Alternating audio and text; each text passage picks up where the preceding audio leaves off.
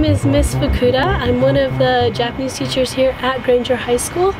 Um, and I want to tell you a little bit about our Japanese 1 class. If you decide to take Japanese 1, um, you'll be able to learn how to write um, in Japanese. We're going to start learning the first alphabet that we use in Japanese, which is hiragana.